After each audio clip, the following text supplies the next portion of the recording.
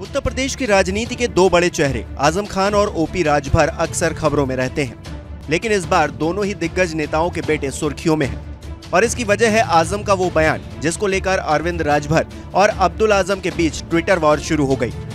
दरअसल ओपी राजभर ने उपचुनाव में हार के बाद अखिलेश को एसी कमरों से निकलने की सलाह दी थी, जिसको लेकर सपा नेता आज़म खान ने भी प्रतिक्रिया दी और उन्होंने कहा कि हमने उन्हें कभी धूप में खड़ा नहीं देखा।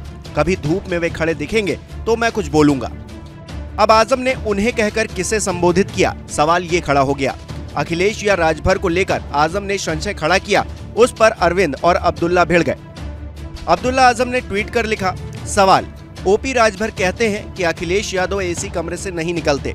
आज़म खां का जवाब, हमने उन्हें, यानी कि ओपी राजभर को कभी धूप में खड़ा नहीं देखा। झूठ ना बोले, सच बोले तो बेहतर होगा। इस पर अरविंद राजभर ने अब्दुल्ला के ट्वीट का स्क्रीनशॉट लेकर लिखा, ज़ुबान से निकले हुए शब्द वापस नहीं लिए जा सकते हैं। अब सफ़ाई देकर और संदेह उत्पन्न न किया जाए।